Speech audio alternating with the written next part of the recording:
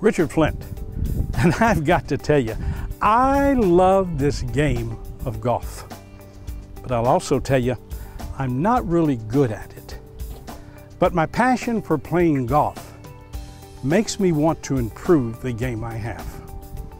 The desire to improve means I have to look at my game with an honest eye and not be afraid to make the necessary changes. I learned a long time ago, I can't improve if I'm not willing to change. The thought about improvement demanding change is true with every aspect of life and business. When you resist change, you deny improvement and trap yourself in protecting what you have become comfortable with.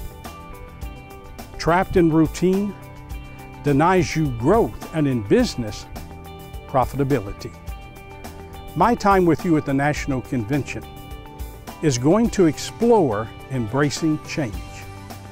We're going to talk about why change is such a struggle. What happens when you resist the needed change? The result of change and fear joining forces. And I'm going to present you with a six step process that will take the fear out of change, connect change and improvement together in a path where you can sustain growth and increase your profitability.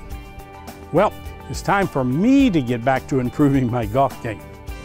I'll see you in San Antonio